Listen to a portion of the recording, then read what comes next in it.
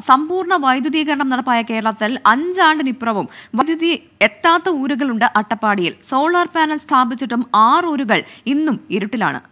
Twenty four അന്വേഷണം തുടരുകയാണ്.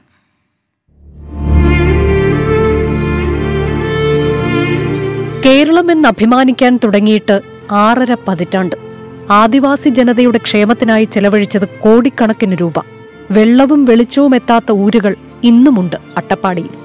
കൊറേ വർഷമായി സോളാർ തന്നിട്ട്. ഇപ്പൊ ലൈറ്റ് കത്തണമില്ല അത് മൊത്ത കംപ്ലൈന്റ് ആയി ഇപ്പൊ.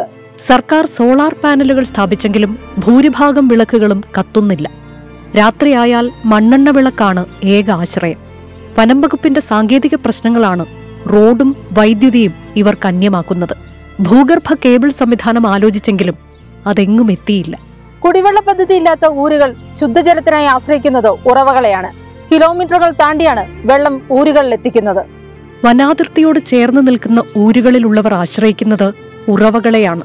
അട്ടപ്പാടിയിലെ കുടിവെള്ള പ്രശ്നത്തിന് പരിഹാരം ഉടൻ ഉണ്ടാകുമെന്ന് മണ്ണാർക്കാട് എം എൽ എ. ഇവിടെ ഒരു കുടിവെള്ള പദ്ധതി നമ്മൾ ആരംഭിച്ചിട്ടുണ്ട്. കിണർ ടാങ്ക് മുതലായ പ്രാഥമിക പ്രവർത്തനങ്ങൾ പൂർത്തിയായി കഴിഞ്ഞു. പദ്ധതി വിഭാവനം ചെയ്യുന്ന രീതിയിൽ അത് ഫിനിഷ് ചെയ്യുമ്പോഴേക്ക് കാവുണ്ടിക്കൽ എന്ന് പറഞ്ഞ പ്രദേശത്തുനിന്ന് ഭവാനിപ്പുഴയിൽ നിന്നെടുത്ത് നൂറോളം ഊരുകളിൽ ശുദ്ധജലം എത്തിക്കാൻ സാധിക്കും. ബാക്കി ഏരിയകളിലേക്കാണ് ഇനി പുതിയ പദ്ധതികൾ നമ്മൾ കണ്ടെത്തേണ്ടത്. അട്ടപ്പാടിയിലെ ഒൻപത് ഊരുകൾക്ക് ശൗചാലയ സൗകര്യങ്ങളുമില്ല. മുന്നൂറ്റി എൺപത് കുടുംബങ്ങളിൽ അറുപതോളം കൗമാരക്കാരികളുണ്ട്. പ്രാഥമിക ആവശ്യങ്ങൾക്ക് വനത്തിലാണ് പോകുന്നത്. ബാത്റൂം സൗകര്യം അങ്ങനെ ഇവിടെ ഇല്ല. പറയുന്നേ ഉള്ളൂ പക്ഷേ എവിടെയും ആ പണി പൂർത്തിയായിട്ടില്ല.